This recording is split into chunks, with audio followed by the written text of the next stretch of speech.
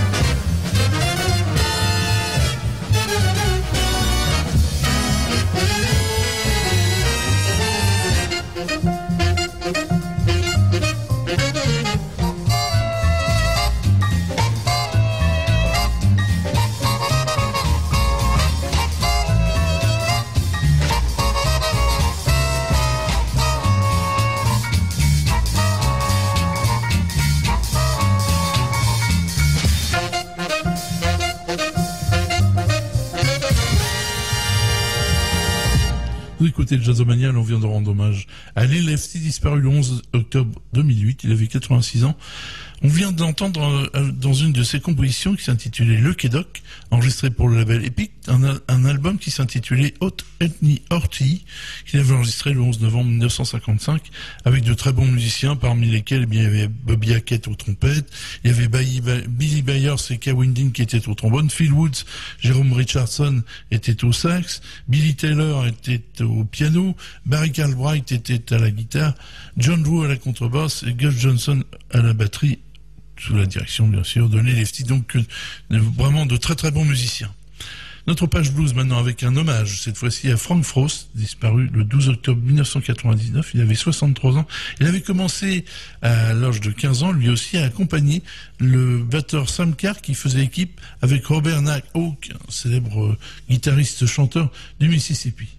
Il était un petit peu dans la lignée de Sonny Boy Handsome, mais il apparaît euh, en 1986, pour les plus jeunes d'entre nous, eh bien, en 1986, il apparaît dans le film Crossroads, célèbre film de Walter Hill, qui parle donc de la musique de blues et qui lui permet de ressortir un peu de l'anonymat dans lequel il était retombé et il avait à cette occasion eh bien eu l'occasion d'effectuer de nombreuses tournées sur sa fin de carrière. Là on va le retrouver dans une des séances on va dire, euh, une de ses meilleures séances pour le disque G-Well à Nashville, 9 mars 1966, sous la direction de Scotty Moore, qui était le guitariste de d'Elvis Presley, qui supervisait cette session donc. Et on va retrouver Frank Frost avec euh, son harmonica, nous interpréter une de ses compositions, Things You Do, Frank Frost.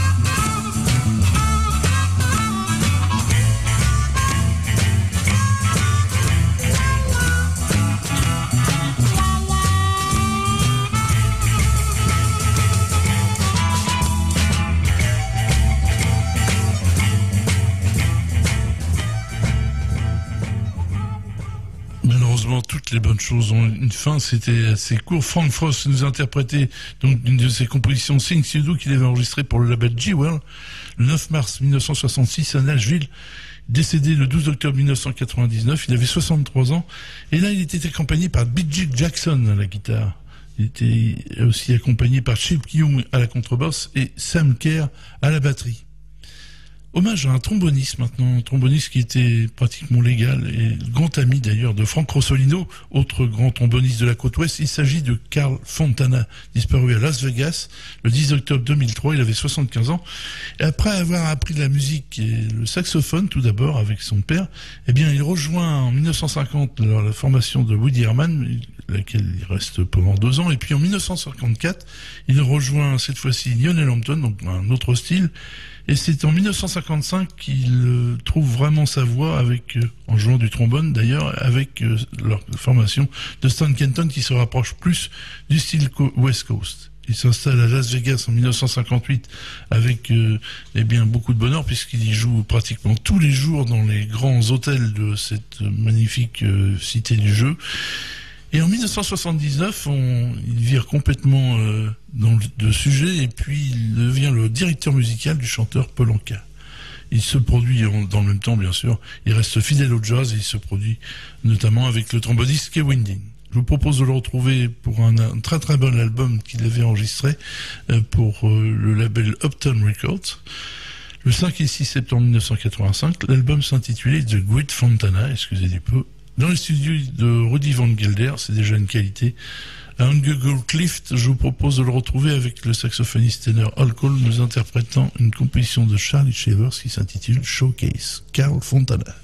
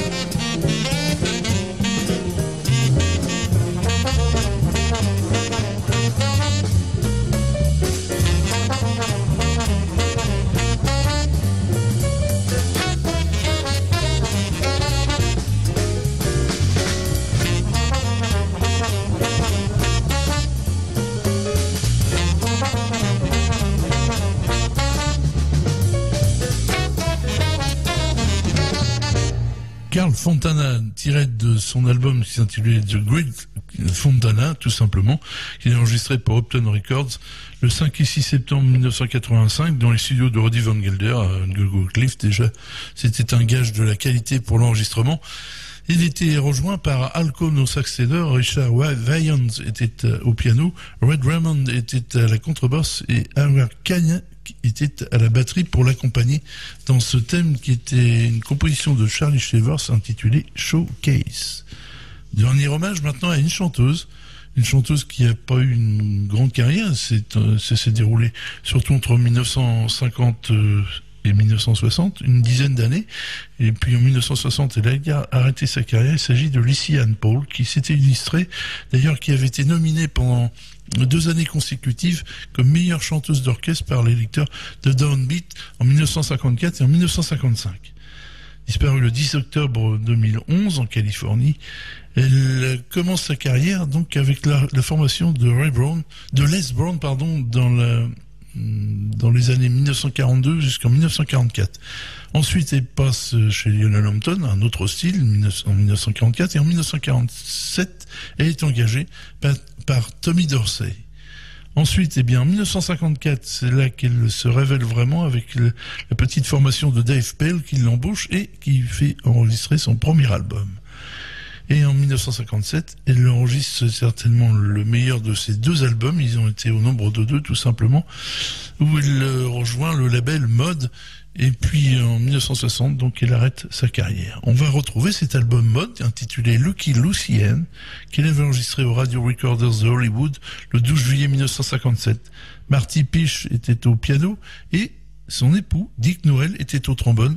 Elle l'avait rencontré d'ailleurs dans la formation de Les Brown l'avait épousée en 1946. Eh bien, on va retrouver notamment le guitariste Tony Rizzi pour nous interpréter une très jolie composition de Billy Strayhorn et Duke Ellington qui s'intitule Sitting and Rocking, Lucy and Polk.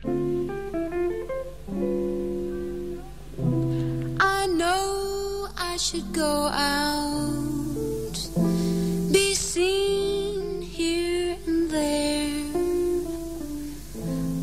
my friends have found out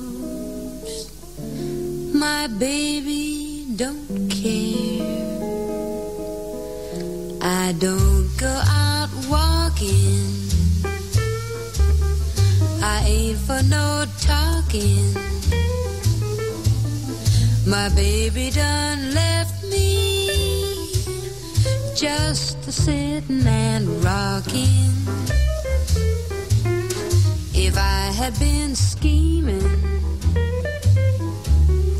instead of just dreaming, he might never have left me just sitting and rocking. Well, I'm sitting all day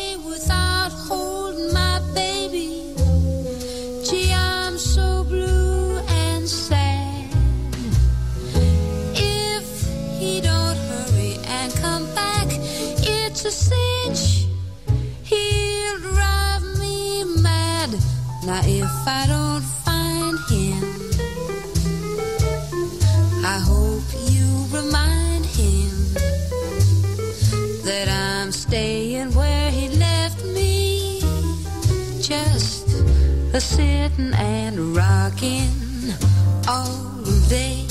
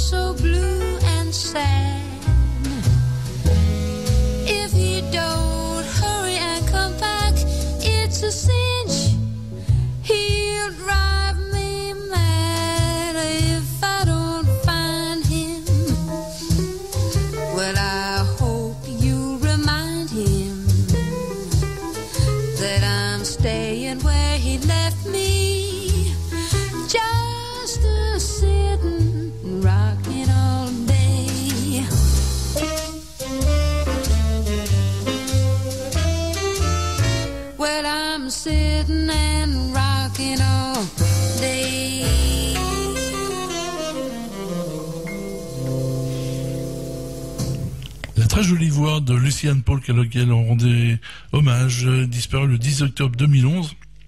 Et elle vient de, on vient de l'entendre dans son, son meilleur des deux albums qu'elle avait enregistré pour le label Mode.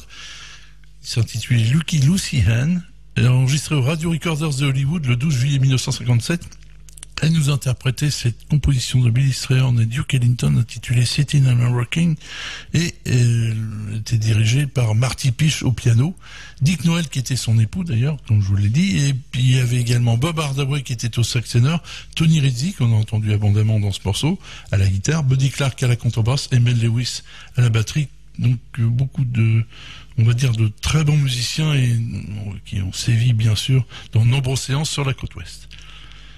On va aborder le domaine des rééditions avec une réédition très intéressante du label Mainstream qui réédite euh, grâce euh, au label We Want Sounds qui réédite lui eh bien ces séances de Mainstream parmi lesquelles il y a Harold Land qui a fait une séance et puis on va retrouver un on dire un sax qui est petit peu moins méconnu, mais qui euh, a vraiment, on va dire, le groove, comme on dit si bien. Il s'agit de Buddy Terry. Il avait enregistré en 1971 pour ce label, dans le studio Color Sound, un album qui s'intitulait Awareness. Bien, je vous propose de le retrouver avec d'excellents musiciens, notamment Stanley Cowell au piano, pour nous interpréter une de ses compositions qui s'intitule Excretions.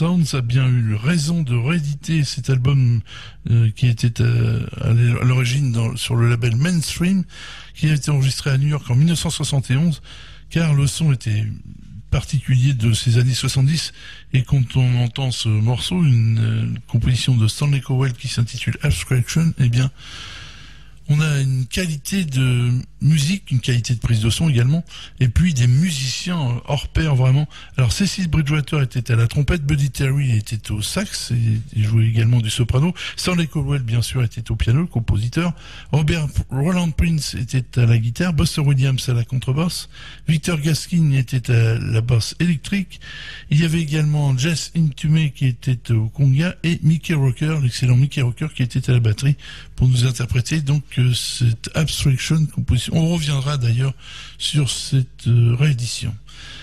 Et toujours dans les surprises, euh, des albums qui ressortent, qui n'étaient jamais ressortis dans, sur la version compact disque, et eh bien, qui étaient restés en vinyle et puis à la portée de beaucoup de collectionneurs, et eh bien, deux bandes son sont arrivées sur le même disque, dont la bande son d'un film de John Frankenheimer qui s'intitulait Un crime dans la tête, avec à l'origine le titre est bien ça, correspond pas du tout comme d'habitude The Manchurian Candidate et c'était un film de, donc de John Frankenheimer et qui était interprété par Frank Sinatra, Laurence Harvey et Janet Lee. Mais là n'est pas le propos puisque vous savez c'est la musique qui nous préoccupe.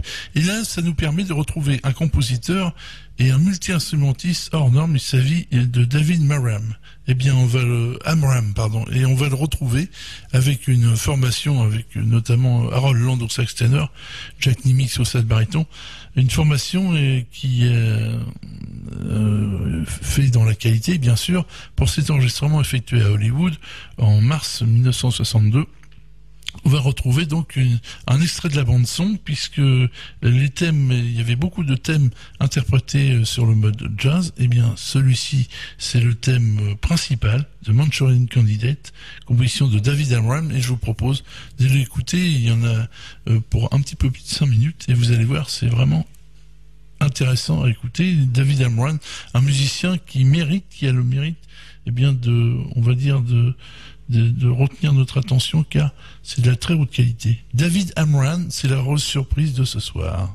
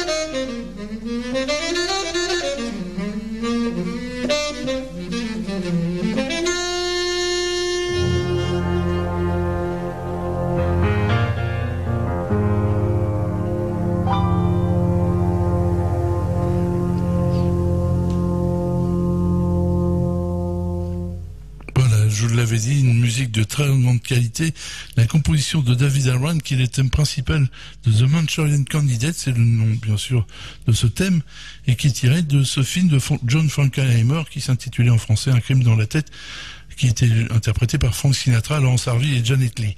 On a retrouvé donc euh, ce spécialiste du, corps qui était avec Julius Watkins, un des deux seuls spécialistes de cet instrument très difficile à jouer, David Amram, qui savait également jouer des percussions, du piano, mais euh, il, était un petit peu le soliste quand même de cet ensemble, où on a entendu euh, notamment à la flûte Paul Horn, Harold Land au sax ténor, Jack Nimitz au sax baryton, Leo Blackburn et Dick Clegg étaient au trombone, Carmel Jones, Joe Gordon et Manny Klein étaient aux trompettes, Jimmy Bond à la contrebasse et Ben Putty était au la batterie pour nous interpréter donc le thème principal de film. Je pense qu'on reviendra sur le sur ce film et puis il y a également un deuxième film euh, qui a été interprété par Natalie Wood et Warren Beatty. On reviendra également puisque euh, cette réédition euh, comporte deux musiques de film avec plus d'une quarantaine de, de, titres sur deux albums qui sont réunis dans le même CD à un prix très abordable. Donc on reviendra sur cet album de qualité.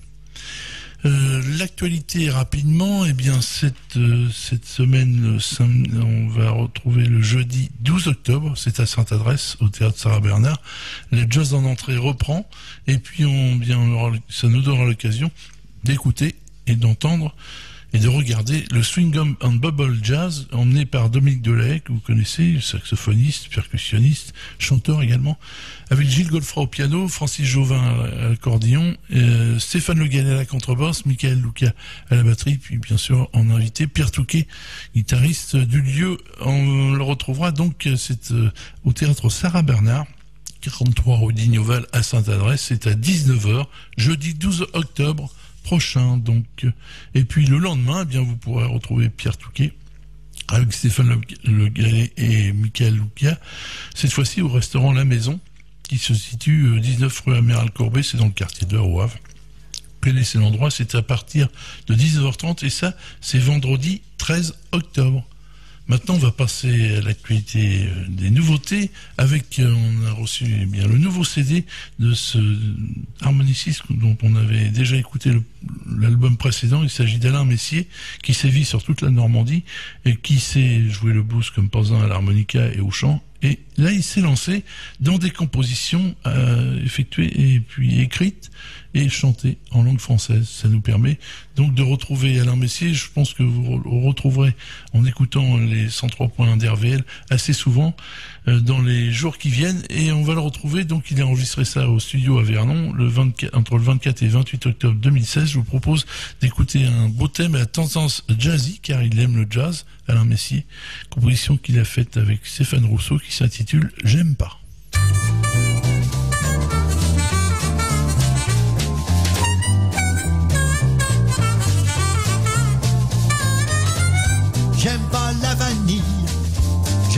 Chocolat, j'aime pas la cuisine, ni les plats chauds, ni les plats froids. J'aime pas la terrine, j'aime pas le pâté de foie champignons et myrtilles. J'aime pas tout ce qu'on trouve dans les bois. J'aime pas la cantine, les palaces, j'aime pas ça, mais si tu me fais une tartine, alors tout à coup j'adore ça. Mais c'est bon seulement si c'est toi.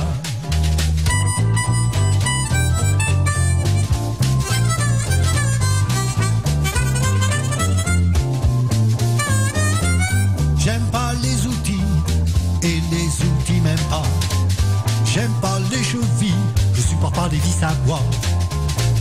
J'aime pas les pinceaux, pinceaux ronds, pinceaux plats. Les fraises, les clous, les vrilles, c'est des trucs à se les doigts. J'aime pas les tréteaux, la poussière, les gravats. Mais si ça te fait plaisir, je te ferai une maison en bois. Mais c'est pas sûr que tout sera droit. Oh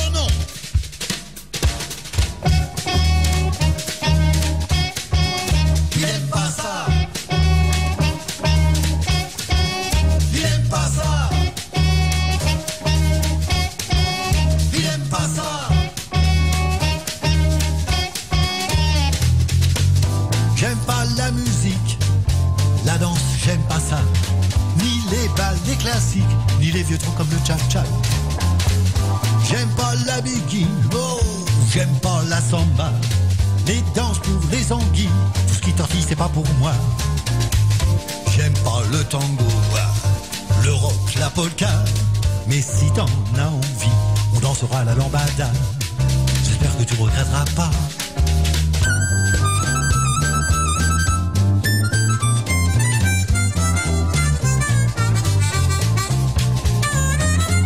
J'aime pas quand ça monte, j'aime pas quand c'est plat.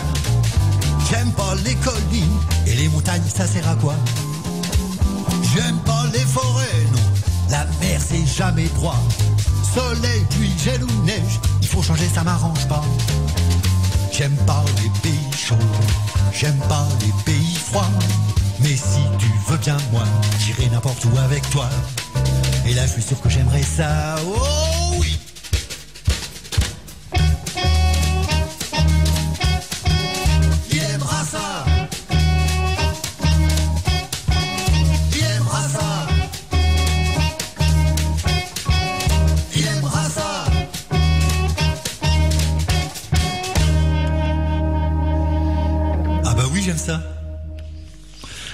Messier avec euh, ce thème qui s'intitulait J'ai- J'aime pas, composition d'Alain Messier de Stéphane Rousseau, qui apparaît d'ailleurs dans cet album puisque c'est on va dire, son ami et inséparable compagnon de musique, Stéphane Rousseau qui est euh, aussi bien organiste que guitariste.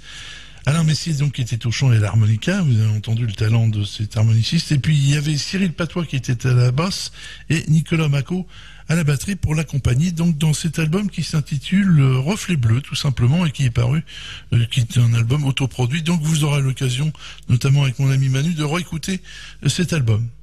On va en venir eh à nos coups de cœur. Le premier, vous le savez, c'est l'album de Tony Allen, cet excellent batteur qui se produit sous le label Blue Note maintenant, qui est enregistré au Midi Live de Viltaneuse, là aussi un studio mythique, en février 2017, au début de cette année, donc un album qui s'intitule The Source.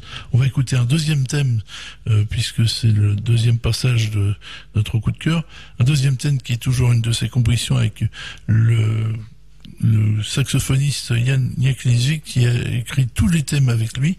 Le thème s'intitule On Fire et on écoute Tony Allen, c'est une révélation.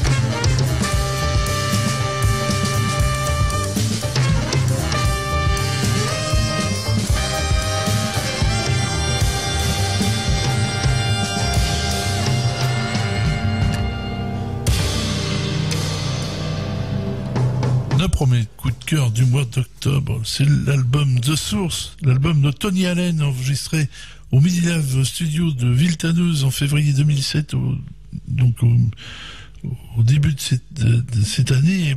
Le non-net, puisqu'ils sont neufs, de Tony Allen fait merveille. Yann Yakelevik, qui est le co-signataire de ce morceau qu'on vient d'écouter, qui s'intitule On Fire avec Tony Allen, il est au sax alto, au sax ténor, au sax baryton. Rémi Ciotto est au sax baryton également et à la flûte.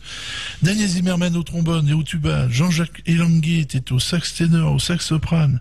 Nicolas Giraud était à la trompette, on l'a entendu abondamment dans ce thème. Mathias Salaman était à la contrebasse. Idi Dibangué à la guitare et Jean Fideri également qu'on a entendu dans ce morceau était au piano et à l'orgue. On va retrouver maintenant, tout de suite après, eh bien, notre deuxième cœur. Vous le savez, c'est cette tradition de, de chanteur Joey Carroll avec les séances qu'il avait enregistrées pour les labels Epic et Prestige édité par Fresh Records et notre ami Jordi Pujol, The Epic and Prestige Sessions.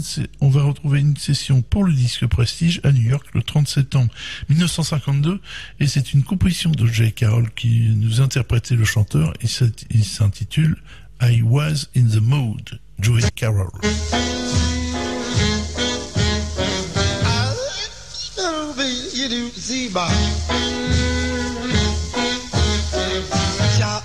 Cheap, cheap tree. I was in the mood. She was in the mood. When she answered yes, I felt happiness, cause I was in the mood. The birds were in the mood. The bees were in the mood. When I gave her the ring, the birds began to sing, cause I was in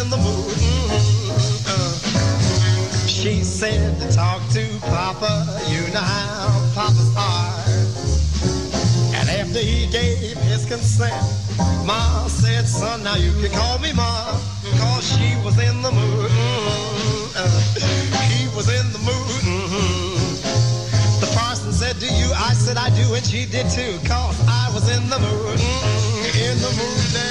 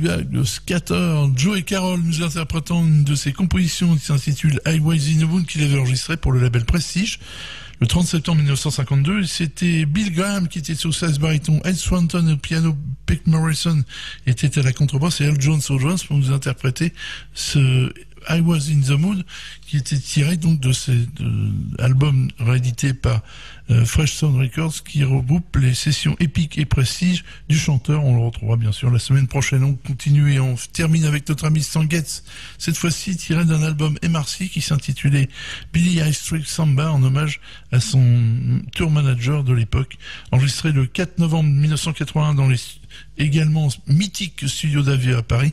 Écoutons ce, cette admirable Body and Soul composition de Johnny Green et Fand Drayton, interprétée par Sam Gates.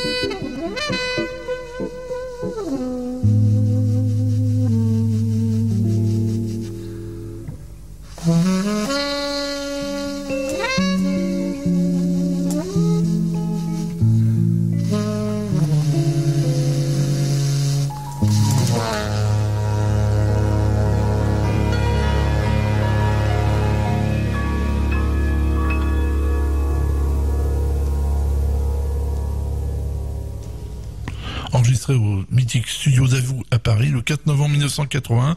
L'album s'intitulait euh, Billy Ice Street Samba. Il était enregistré pour le label MRC et c'était Mitchell Forman qui était au clavier, Chuck Love était à la guitare, Mark Hagan à la contrebasse et Victor Lewis aux drums alors que Bobby Thomas Jr. était aux percussions pour accompagner notre ami Stan et ainsi se termine bien sûr ce numéro 358 de Jazzomania ce soir.